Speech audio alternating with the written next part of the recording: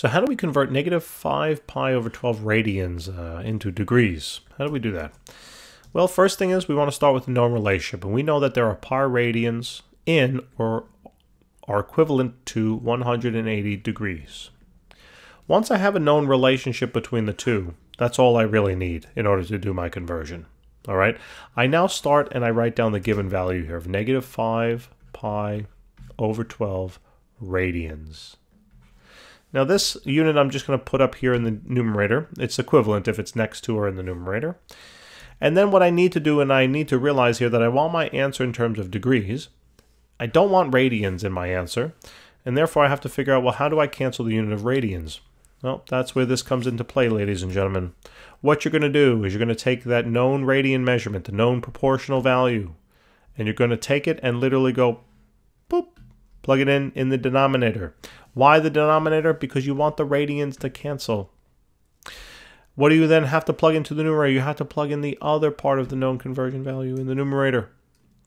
Notice the degrees will not cancel, and the unit in your answer will be in terms of degrees. The problem is basically finished. All you have to now do is just simplify some stuff. Notice the pi's will cancel as well, right? What about the 12 and what about the 180? Does 12 go into 180? Well, take out the calculator and check it out, right? It does. 12 goes into 180 15 times. So you know what this whole thing simplifies down to? It simplifies down to literally negative 5 times and 15 degrees. And what does that work out to be?